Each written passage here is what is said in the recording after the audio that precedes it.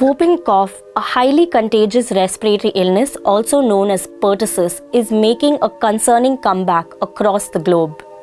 It is more common among young children and babies and can even prove to be extremely fatal. The infection caused by the bacteria Bordetella pertussis is difficult to detect early on and mainly spreads through respiratory droplets. Outbreaks are being reported in numerous countries including China, the Philippines, Czech Republic, the Netherlands, the United States, and the United Kingdom. However, China has reported a more than 20 fold increase in whooping cough cases in January and February compared to the same period as last year. After confirming 32,380 cases and 13 deaths, Chinese authorities warned that it is a major cause of mortality among infants and young children globally. But whooping cough can affect people of all ages when immunity reduces over time. The increasing number of cases has been attributed to the weakening of the vaccine's long term effects in China. Another potential reason researchers are considering behind the rising incidences of pertussis over the last two decades is the impact of outdoor air pollution in China.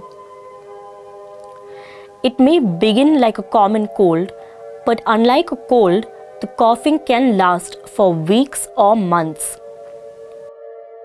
The disease experiences a cyclical rise every 3 to 5 years, but incidences have been growing for more than 20 years.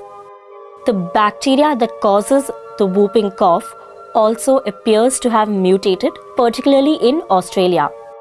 The country is facing its worst outbreak since 2013 with 2,799 cases recorded in the first three months of 2024.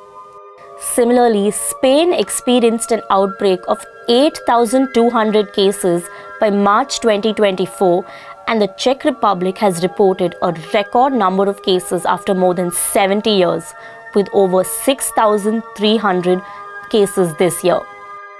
The DTP vaccine, which is a class of combination vaccines against three infectious diseases diphtheria, pertussis, and tetanus, is recommended for children, while Tdap vaccines can be given to adults. In 2022, 20.5 million children missed out on one or more doses of their DTP vaccines, according to the WHO.